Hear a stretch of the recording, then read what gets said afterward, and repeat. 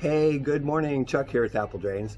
We're here at Lowe's and I just want to show you why and how this little catch basin is so important for your French drain system. It's not a yard drain system, it's for your French drain system. And this little catch basin 15 bucks will save you thousands and thousands of dollars. So you can see there's lots of different kinds of catch basins and they range, you know, the prices go way up. 61 bucks for a 12 by 12.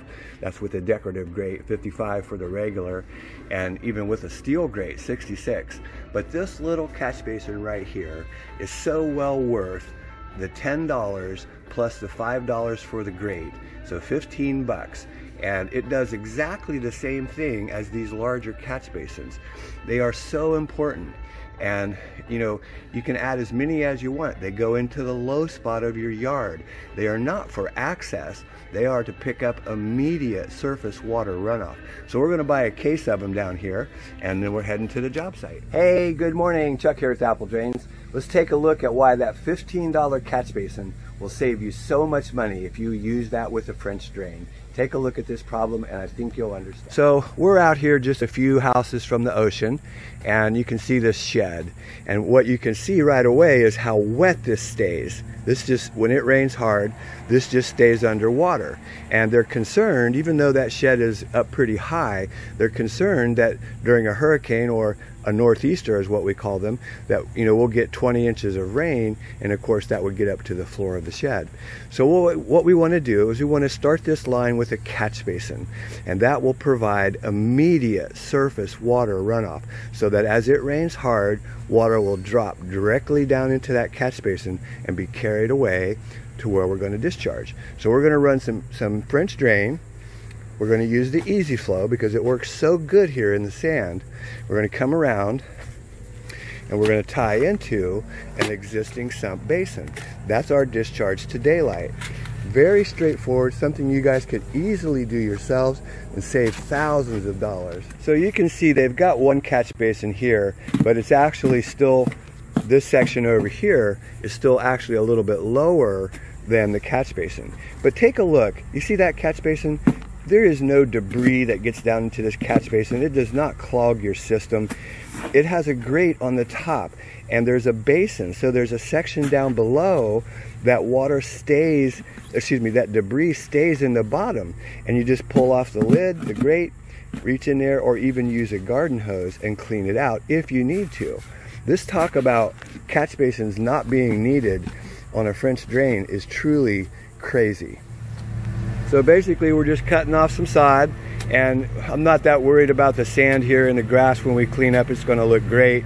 Cut your sod off, make your trench, install your system, and you're done. So you can see we got one guy digging. I'm gonna go ahead and start to install this because by the time I get this installed, he's gonna have this all dug clear back to the around the corner there. If you're doing it yourself, it's still gonna take just a few minutes to do this job. We've got a lot of roots from these palm trees. You see the palm trees? They put out tremendous amounts of roots, tremendous amounts of roots, because they seek water everywhere. Okay, you can see that groundwater, and what I'm gonna do is use a four and a half inch hole saw and drill a hole into our basin right here. So using that four and a half inch hole saw. Simply drill a hole and now we're ready to install the pipe. It's just but that again, quick. take a look at that groundwater. See how fast that's rising? Groundwater, it, it's really tremendous here in Florida. In other places in the country too. Sump pumps, best way to discharge water and to achieve proper grade and fall from your French drain. And contrary to what other people are telling you, you can run perforated pipe with a sock over top of it and it will work just fine. This will help keep the debris out of those holes, the slots, and it will allow drainage. It won't hurt anything. It's just going to help promote drainage. So again, great applications for sock around the perforated pipe. And don't be fooled by what these people are telling you. There are great applications for this and it works great. What it's going to allow us to do is grab a little bit of additional drainage as it comes into the sump basin. No debris is going to get through that fabric. It may slow down the water flow coming in, but that's not what we're trying to do. We've got the easy flow and catch basins picking up this water. This is just a small section of pipe to connect from the French drain and the catch basin into the sump basin. So you can see we got one guy digging. I'm gonna go ahead and start to install this because by the time I get this installed, he's gonna have this all dug clear back to the around the corner there. If you're doing it yourself, it's still going to take just a few minutes to do this job. We've got a lot of roots from these palm trees. You see the palm trees? They put out tremendous amounts of roots, tremendous amounts of roots because they seek water everywhere. So using your hacksaw, we want to cut a four inch slit, five inch slit.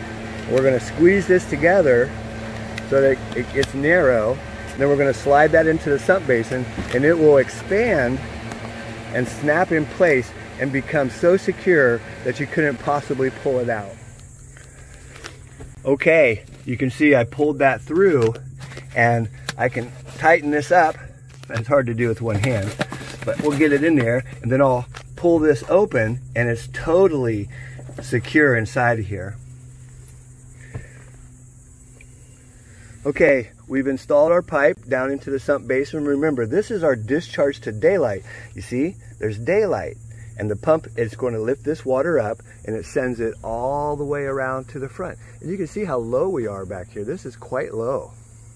Again, the sock around the pipe, it works great, you guys. We're going to bring this around just a few feet and we'll probably put a catch basin here and the section of easy flow as it runs back through the trench you can see we're digging back through there. And look at the groundwater. We still need to go deeper, but look at that right away, groundwater. You know, we're still digging back there, but take a look. Can you hear and see that groundwater?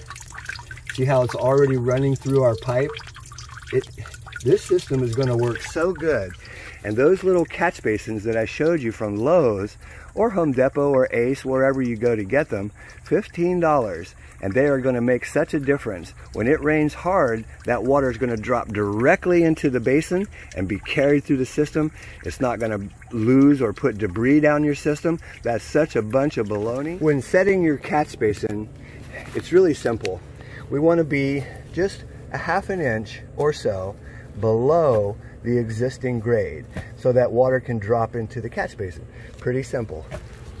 Look at that groundwater. You'll also notice that I like to use a double outlet basin. Basically, we just use a good vinyl tape, close this off, and our line is going to start here and run around to the sump basin.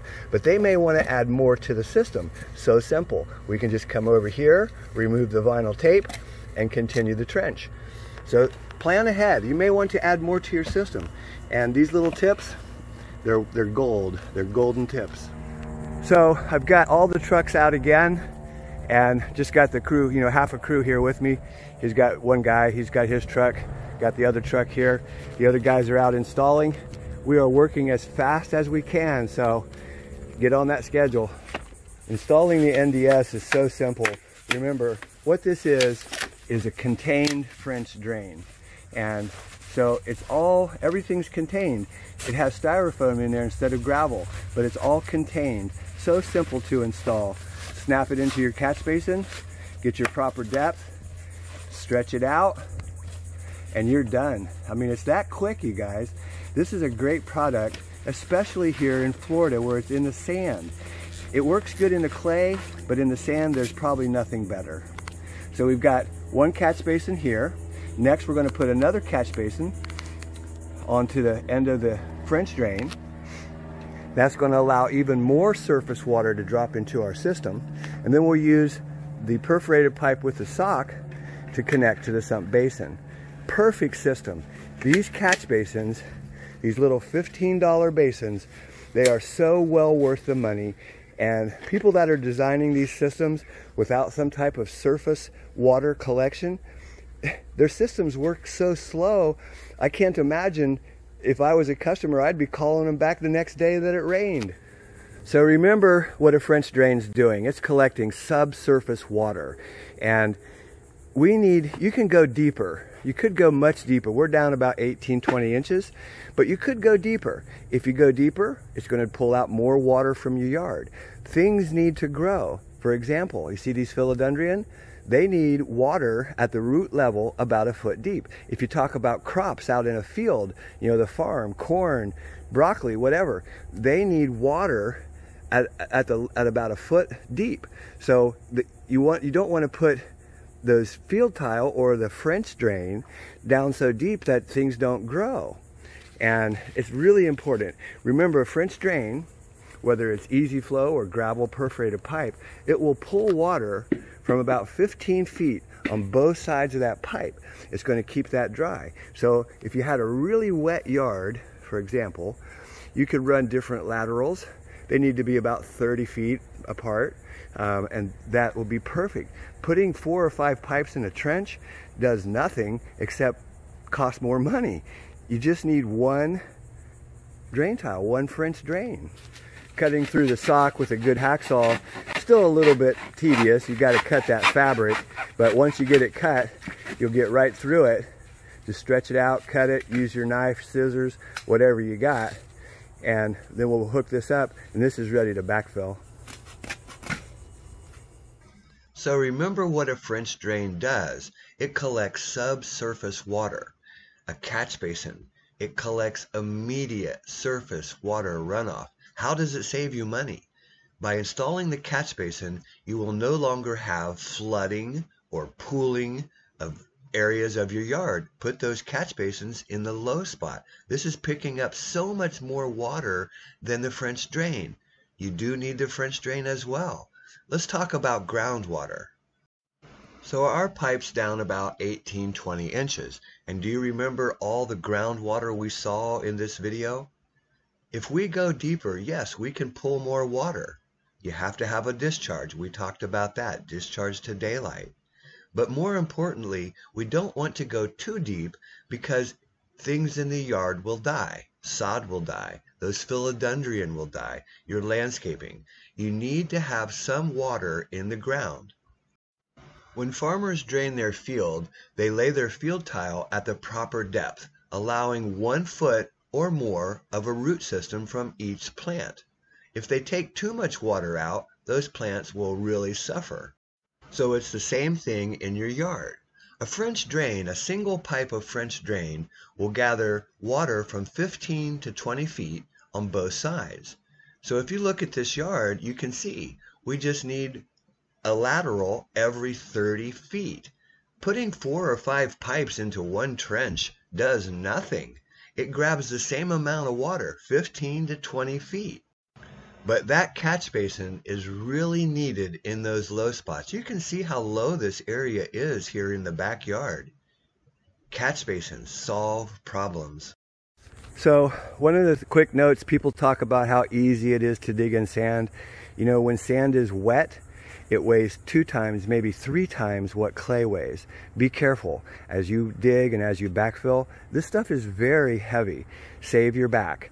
Always remember to bend your knees, things like that, all the things that you already know. But when you're backfilling, just backfill. You don't need to step on it, you just backfill. Okay, let me show you one more tip. You know, like I said, we show you so many things in our videos. Uh, no one even comes close to all the how-to tips, professional how-to tips on how to install all these rainwater drainage systems. NDS pop-up emitters. Here's a common problem and how to fix. It. Another common problem that we find is that the pop-up, of course, when those downspouts, when it rains hard, all that roof water comes down and it pushes the pop-up off. It blows it off. In other words, it just pulls that whole piece right off the top. Simple solution, we're just gonna put a set screw right down in here and hold that together. When you do this, of course, you've got to you know, open an area up to get your handy dandy drill down in there. So remember, the secret is to get enough room that you can get down in here and drill. Stay close to the top start your set screw, secure it, and that won't come off again. So NDS makes a great little pop-up, but it does pop off. Just that simple. We'll go ahead and cover this up and that little project's done. Hey, this is Chuck with Apple Drains reminding you that if you believe you can do something, I guarantee you can do it. Have a great day.